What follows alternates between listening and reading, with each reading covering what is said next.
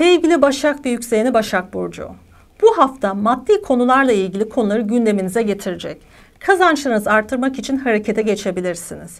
7 Eylül Başak yeni ayı ile birlikte içinizdeki enerjinin yükseldiğini hissetmiş olabilirsiniz. Artık fikirlerinizi uygulamaya koyup hızlanmak istediğiniz bir süreçtesiniz. Yeni girişimleriniz için motivasyonunuz artacak ve kendinizi değişime açacaksınız. Aslında artık kendinizi ve var olan potansiyellerinizi göstermek istiyorsunuz. Yeni tanışacağınız insanlarla yapacağınız ortak projelerde yeni kazanç kapıları açılabilir.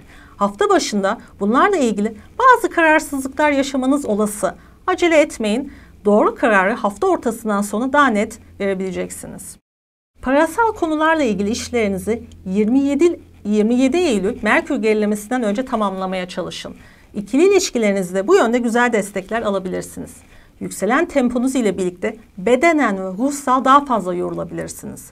Ufak molalarla kendinize vakit ayırarak tekrar kendinizi şarj edebilirsiniz. Var olan sağlık sorunları ile ilgili de kontrolleri yaptırmanızı bu hafta ihmal etmeyin. Yeni haftanın size sağlık ve bereket getirmesini diliyorum.